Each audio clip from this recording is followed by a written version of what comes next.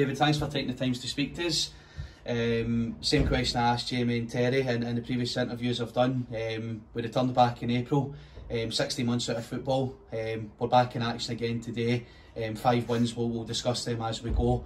Um, but just sum up the, the kind of being out of football for 16 months. Obviously, you missed the Blantyre friendly for the first one away in Blantyre. You played at home against Blantyre last week, um, and you played obviously today. Um, just sum up the, the 16 months out of football for you and how, how difficult it was. Uh, it was very difficult. Uh, couldn't get to see the team. Um, it was a very very long period of waiting, and but there was only one positive from it. it gave me a little bit more time to focus on myself, keep my mentality going, and hopefully getting the green light back for going back to training. So I was just eager to get back, itching to get back. So I've been trying to do my own wee fitness videos as well uh, try and keep my health up, keep myself in shape, give me more time to think about more of the team as an element for Yeah. mentality. Yeah, and of course, obviously through the same period, you became a dad. How how was that for you? Congratulations, obviously, but how was that for you becoming a dad for the first time? Thank you very much. Um, no, it was a great experience. I'm loving every moment of it. Um, couldn't ask for a better child, so she's been superb. So thank you for asking. Uh, during the COVID period, it was hard at first because obviously with the pandemic, I couldn't really get to be there at the start, which reflected on my mental health. But near the end, I was there constantly and got me more involved and kept me kept me on guard. Put it that way, kept me on my feet. So yeah, I'm loving every moment of it, and I wouldn't change it, and I wouldn't change it in the world. David, just breaking down the games, we played five games today as opposed to the three games that we have been playing. We played five 20 minutes. Um, speaking about game one, uh, finished 2 1 to us. Uh, Barkley and and uh, and Andy on the on the score sheet there. Um, conceded obviously uh, the, the goal the goal in that one as well. Just sum up that for us. Uh, well, I thought the team played brilliant. I was on the bench for the first game. Um, I thought the team done absolutely brilliant. It was an improvement for what we've done in the past. Um, Barkley, great finish, but it was unfortunate that due to his error at the corner, we conceded, which was the only goal Bradley conceded that day, which is a massive achievement for any goalkeeper. And Andy obviously getting the winner with an incredible finish from Andy. We all know what he can do. Um, give him the ball at the right place at the right time, he'll put in the net for you 110%. Um, I thought overall Sean was brilliant as captain. Obviously, he was loud, he was enthusiastic, he kept the team up. Um, in the defence line, I have no words to describe it. It's fantastic. They were all brilliant in their own in their own individual way. Uh, yeah, obviously, and still, and still on game one, we'll, we'll obviously go on to the, the other results and, and when we speak about the, the other games, we break them down. But it was a bit of a slack performance, probably game one. Um, quite kind of old ways um, that, that we saw in game one. We were, we were fortunate enough to get to get the win, which would have ultimately been three points if we were playing on a on a game day in Falkirk. Um, obviously, the rest of the games went went in a, in a better manner, but yeah, just a wee bit slack in game one. What, what would your, your thoughts be in that? I, I would have to agree with that. Yeah, we were a wee bit slack. Passing wise was probably the main point when it comes to the slack play. But the passing wasn't really up to the standard that Vale can usually play. And it was just unfortunate because Clement are a good club. They give 110% no matter what, being that I've obviously played with them in the past before joining Vale.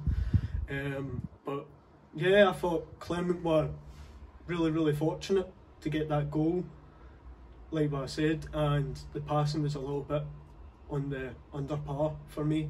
But we managed to pick ourselves up right in the last five, ten minutes, and we managed to get the win, just get the win, um, which is obviously good for us because that would have been three points at Falkirk. But apart from that, yeah, we had to work up a wee bit more.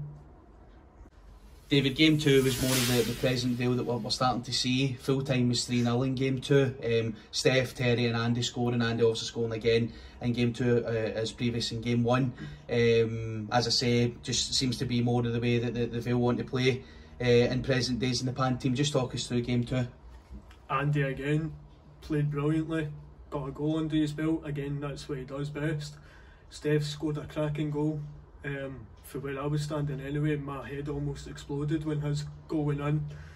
And first and foremost for Terry getting a goal against his old club as well. Me and Terry obviously shared some um, action at Clermont together. He had seven years of service with the club, and for him to get on the score sheet was good to see. Shows that the confidence was coming back for Terry, and even with Steph, the confidence uh, would have been a huge confidence boost for Steph and Terry to get their name on the goal score sheet as well. Yeah, David, game three for you is where things started to turn on. Obviously, you you came on to play your first minutes of the day.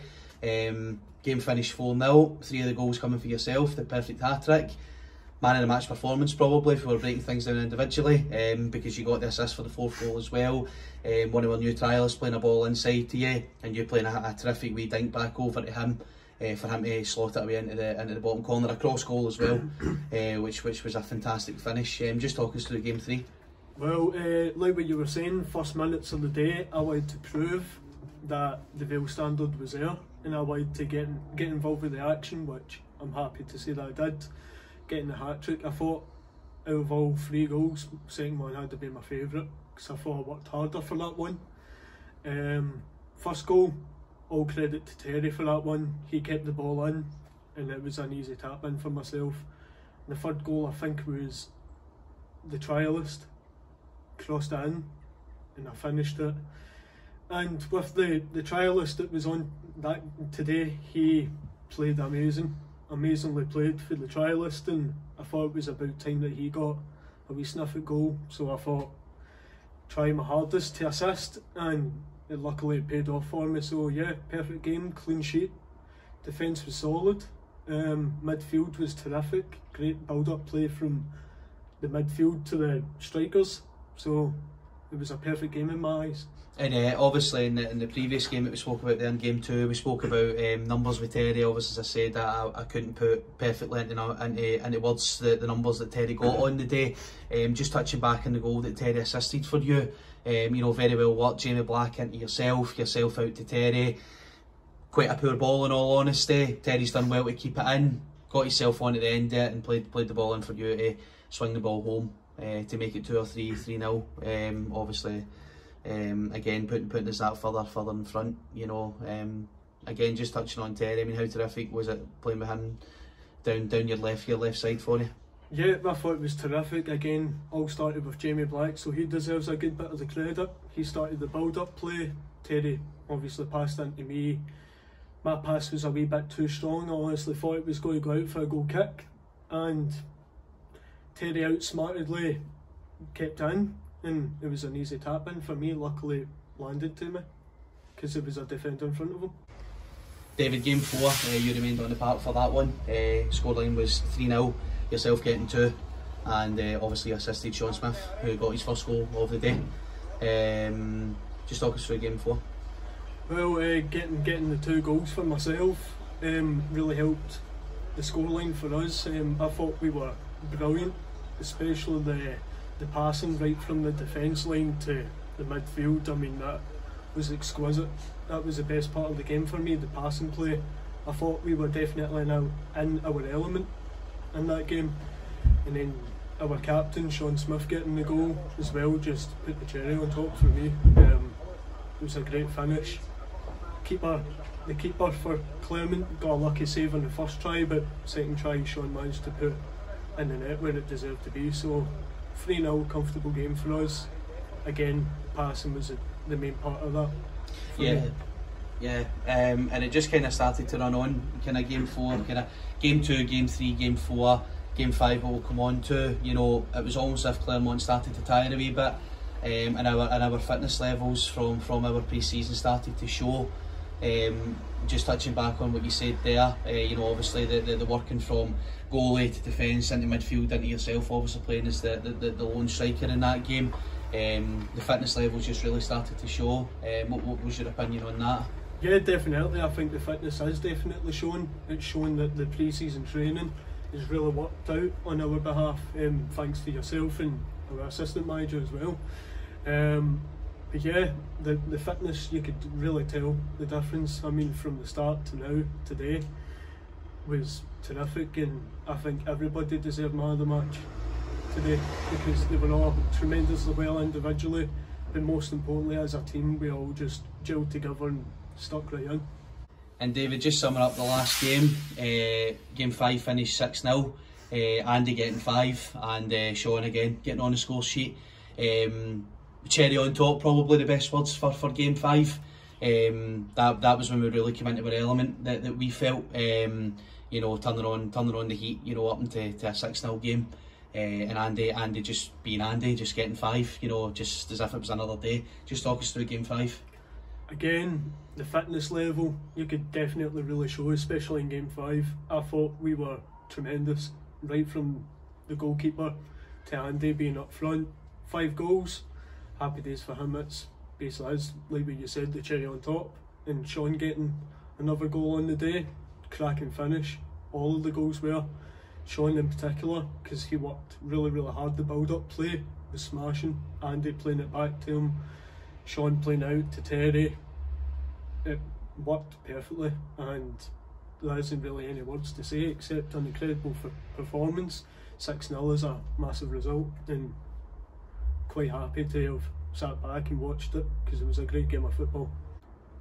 David, just talking about numbers across across the day, um, 18 goals scored uh, and one conceded across five games. Um, yourself pitching in with five and Andy pitching in with seven. Um, accumulating to, to 12 of the, the 18 goals as, as we're two forwards. Just sum that up for us. I, I, I feel like me and me and Andy, it's like a competition at times, just trying to see who can get the most goals on the on the day. But at the end of the day, every goal helps towards results, getting us the three points and getting the team to where we should be. Um, no disrespect to Andy, but I really wanted to beat him today. But unfortunately, he got the extra couple of touches in there. But Andy, incredible performance for him. I mean, 12 goals out of 18 on today's performances is good for strikers like me and Andy.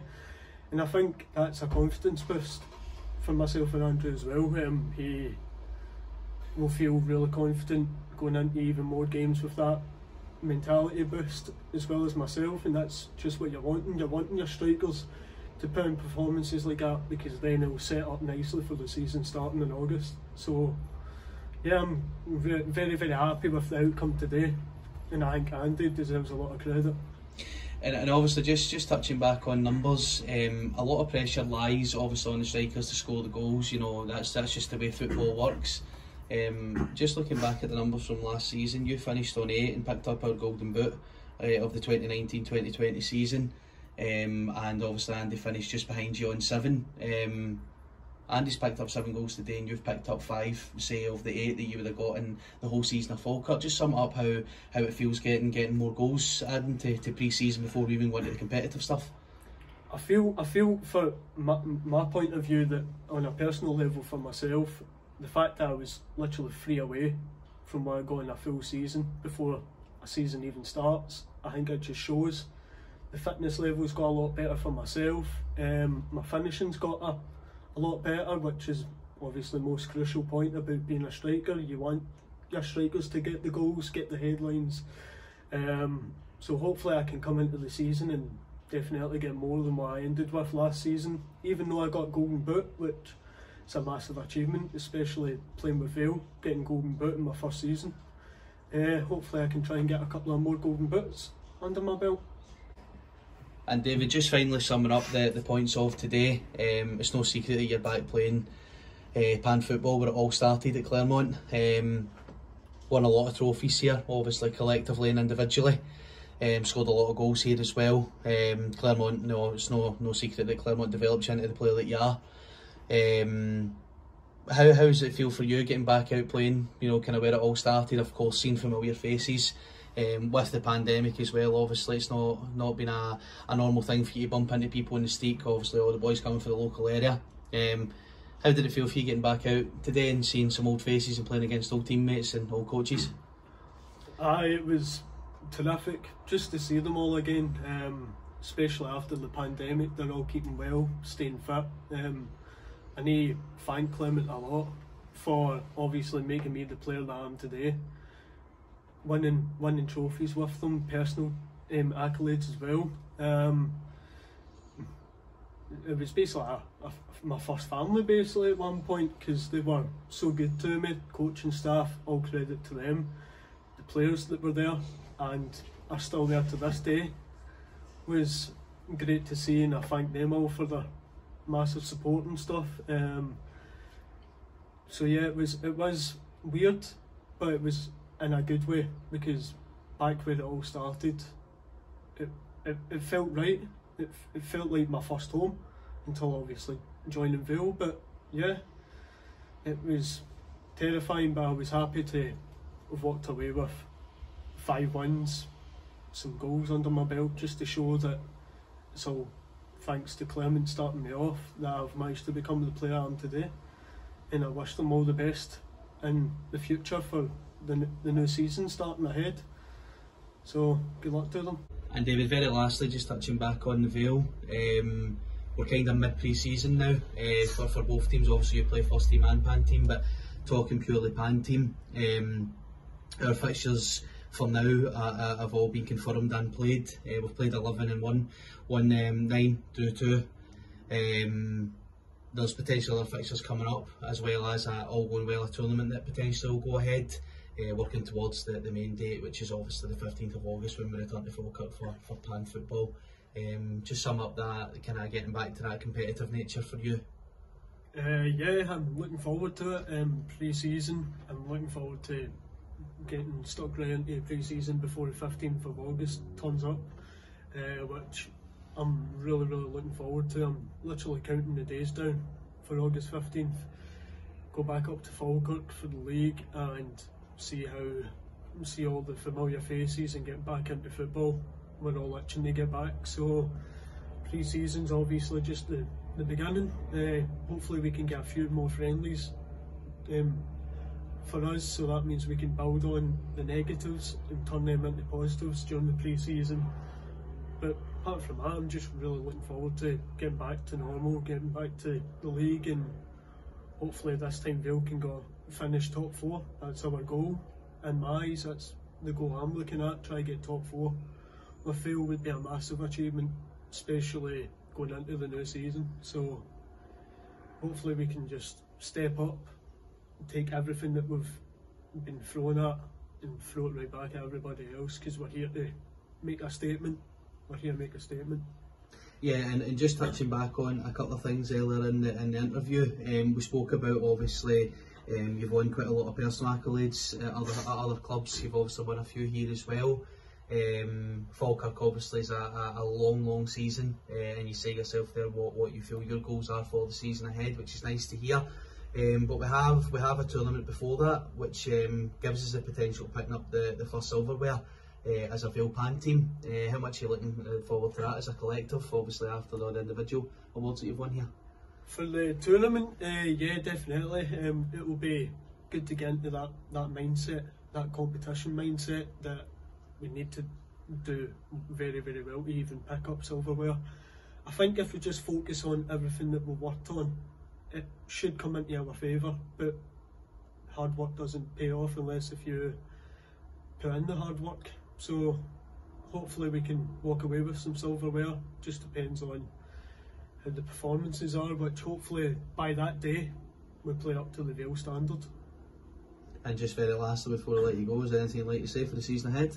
Uh, just like to say that uh, thank you very much for your time, Alan, for interviewing me. Uh, really appreciate it and thank you for the team and hopefully we can all wear the badge together and walk away with some silverware this season.